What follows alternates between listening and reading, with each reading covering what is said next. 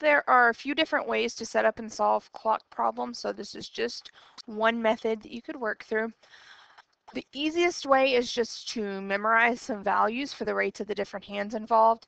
So you're going to have the second hand, the minute hand, and the hour hand that could be involved. And you could mathematically figure these out every time. When you go to draw your clocks, I have found the easiest approach is to kind of what I think of as the corners, get those first. So you have 12, 6, 3, and 9, and then it's easy to just go in and fill in the ones that are missing, and it should be relatively correctly shaped, everything kind of in the right places. So if you think about the second hand, we're going to put all of these rates in terms of degrees per minute. So the second hand, if you think about the second hand, it's going to go all the way around your clock in one minute. So its rate is 360 degrees per minute.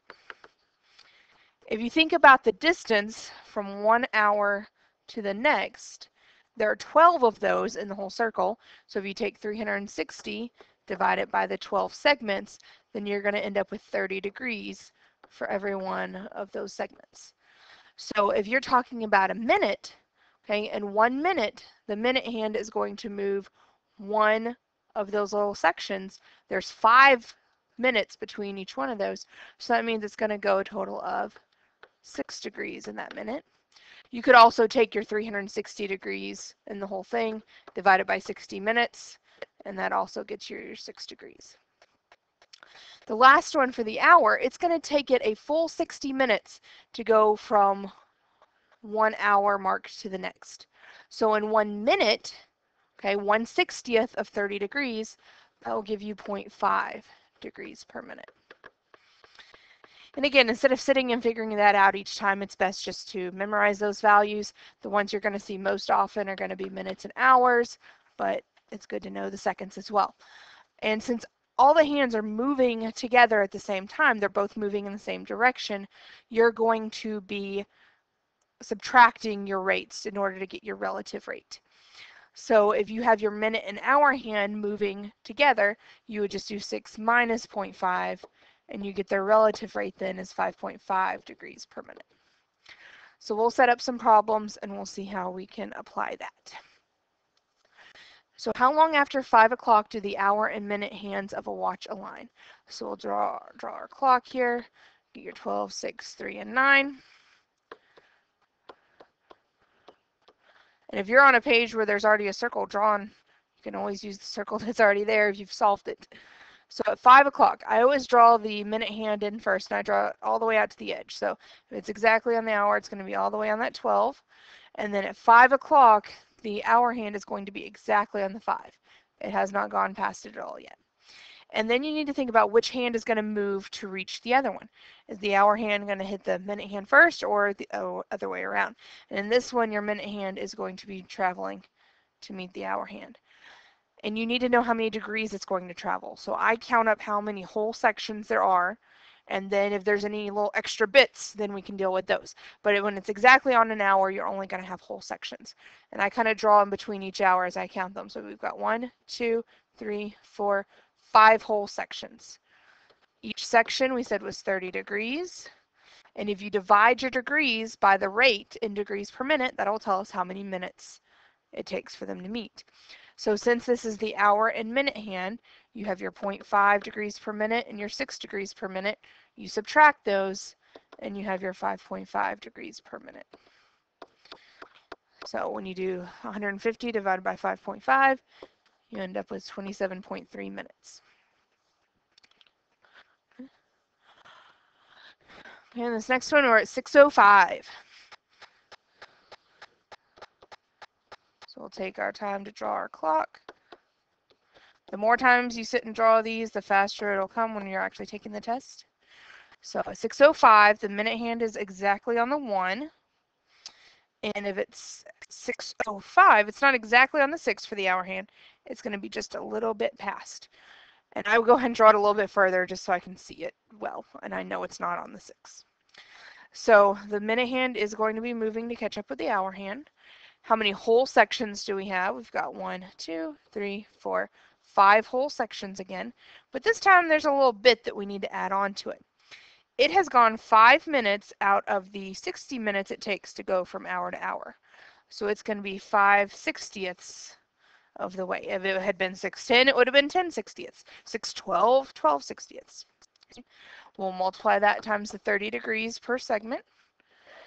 And then we divide by the rate of our hands. Again, it's the minute in the hour hand. So that's going to be 5.5 when you subtract those. And I kind of goofed a little bit because there's a word there I didn't pay attention to and I should have. We want to know when it lines up for the third time. So we don't have to change anything that we've done so far. That's how many degrees on top that it'll take to reach it the first time. Then it has to go around again a whole 360 degrees to get it the second time, and then another 360 degrees to reach it the third time. So you're just going to add on those extra two circles.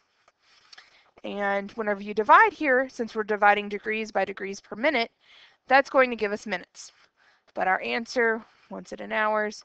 So at the end, you'll just divide it by 60, and we should get 2.64.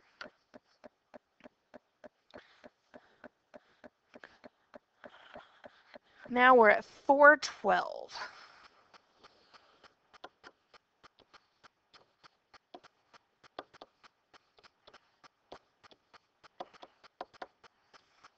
Okay, go to the minute. So the 12 is going to be in between whoop, the 2 and the 3.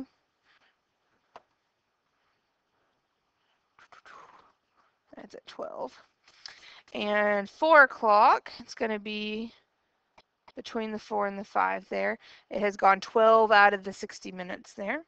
And we want to take how long for the minute and hour hand. Minute's going to move to catch up with the hour hand. So count how many whole segments. There's only the one whole segment. Okay. We've got an extra bit at the beginning and an extra bit at the end this time. So this section here, it's gone two out of the five minutes that it takes to go from the two to the three. So that means that there's three minutes left out of the five to travel there. Okay. And then on this end, this little bit, it's gone 12 out of the 60 minutes. We'll multiply that times the 30 degrees per segment. It's minute and hour hand, so that's 5.5 degrees per minute. And when you do the math, we should get 9.82. And it should make sense when you look at that. I mean, that makes sense with the numbers that you have there. Now this one wants us to add or find out when they're going to be 50 degrees apart. So 730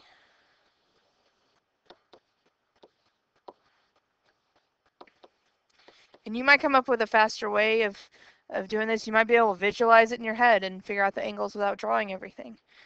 Unfortunately, I cannot do that. I have to draw them. Okay, so they're already less than 50 degrees apart. So that means that the minute hand is going to have to travel here, meet the hour hand, and then keep going until it's 50 degrees past it. So we have to find that angle, then just add 50 to it and then work it like we've been doing the others. So how many whole segments are there? It's exactly on that six. So there's one whole segment. And then there's a little bit here at the end. It's 30 out of the 60 minutes. You could just do 1.5 when you type it in your calculator. And then it needs to go 50 more degrees. Then we divide by our related rate of the two hands. And we end up with 17.3 minutes. You have several more problems set up like this. There's an answer key there at the end. So you should be able to work them. This is not the only method.